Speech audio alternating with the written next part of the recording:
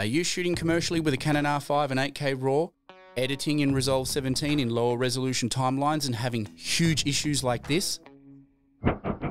And if you are, don't worry, it's not the camera.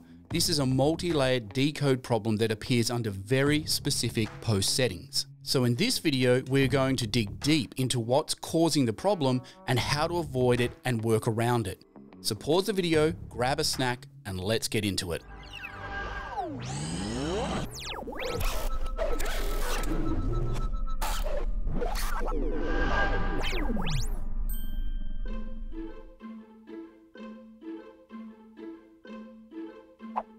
In simple terms, when light passes through the lens and hits the camera sensor, it is digitized as ones and zeros. This encoding is translated into RGB video clips inside the camera. But some higher end cameras, cameras like this R5, have the option of bypassing that process and recording the data in a RAW format. And in this case, the Canon 8K RAW is not compressed like Red RAW or B RAW.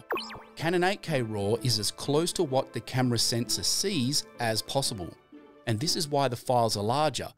But this RAW is still partial information that requires a filter to be applied before the full RGB image can be reconstructed. This debayering process is done inside the computer instead of in camera, and happens every time you press play in post. This can be very processor intensive for computers, which is why you often need a powerful computer to handle the raw files. Resolve counteracts this by giving you control over the quality of the debayer process via the decode settings. This results in less information for your computer to translate to achieve real-time playback.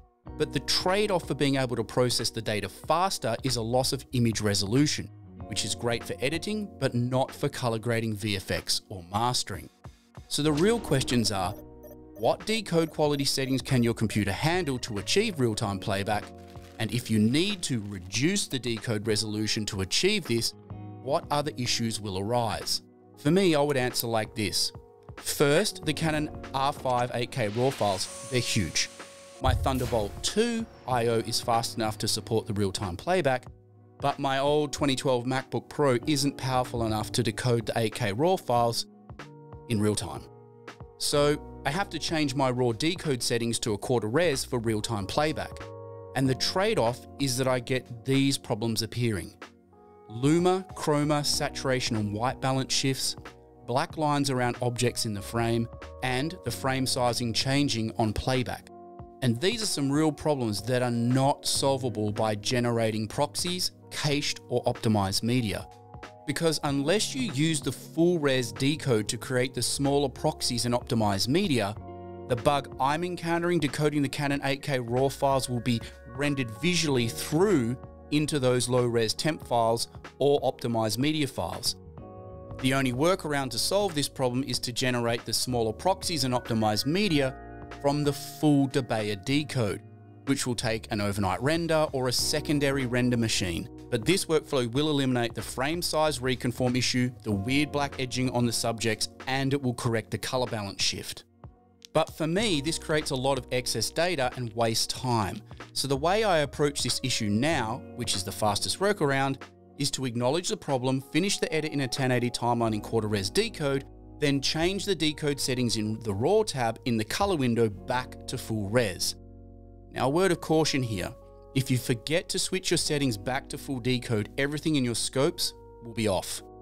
Realistically though, as long as you grade out the color shifts and correct the exposure and you don't change any further settings in the pipeline, and this includes the export page, then you should be okay.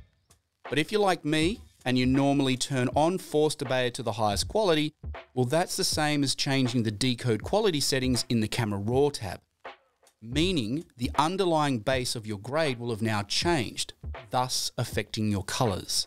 Further to this, if you decide to decode the 8K RAW to say quarter res and generate proxies and optimized media for an even faster edit, then you'll be working with visible issues. And you need to remain mindful first in the grade to switch off the cache proxy and optimized media, and then in the render tab, remember not, that's not to choose optimize media, use proxy media, or use render cache media to speed up your render. Otherwise, all of the visual issues will appear in your final export, which to say the least is not good.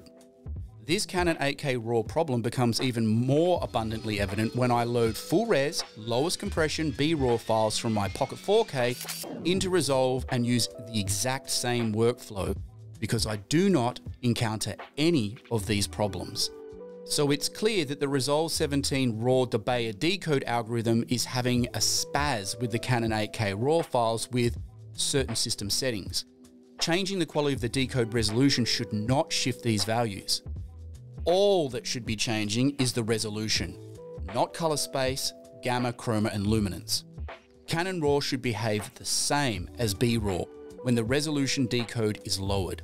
And these wild color and luminance shifts we are seeing should not be happening and could really mess up a grade, or could cost you money as you may need to take time to remaster the project. But at least now, if you're a Canon RAW shooter, you're aware of the issue the possible causes and potential ways of managing the problem the Resolve 17 beta is generating via its decode algorithm. My advice is if you are on an older, slower machine like me, is to use a low res decode for playback, vision, and audio editing. Then switch your decode settings for your grading and final export.